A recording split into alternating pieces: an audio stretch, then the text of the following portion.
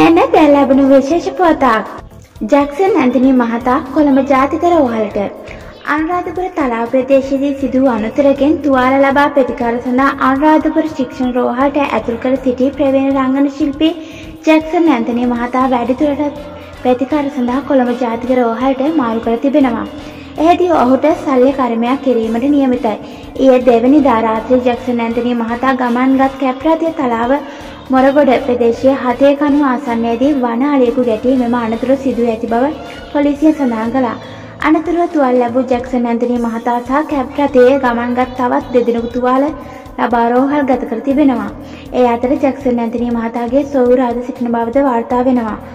අනතුරත් සහ සමග කැබින රථය මහතාට වනාලිය ඇද වැටී ඇති අතර ඉන් රැත් ඉන් කැබ් රථයට දැඩි හානිව සිදුව ඇත. තුවාල ලැබූ ජැක්සන් ඇන්තනී මහතාගේ තත්ත්වය බරපතල නොවන බව රෝහල් ප්‍රකාශයකු ප්‍රකාශ කළා.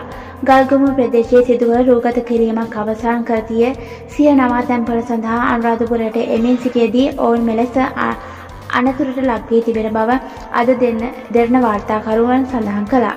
තලාව පොලිසිය මෙම අනතුරු සම්බන්ධයෙන් වැඩිදුරට විමර්ශනය ආරම්භ කර තිබෙනවා.